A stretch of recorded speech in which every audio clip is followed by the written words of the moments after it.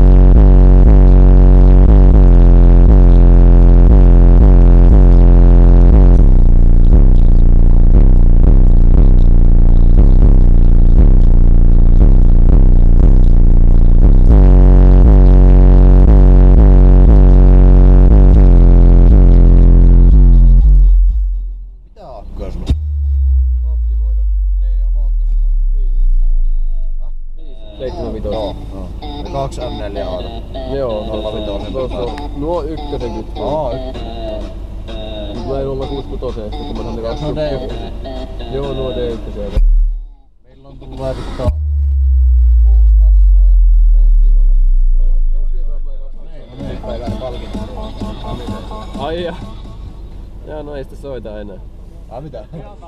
Joo, selvä.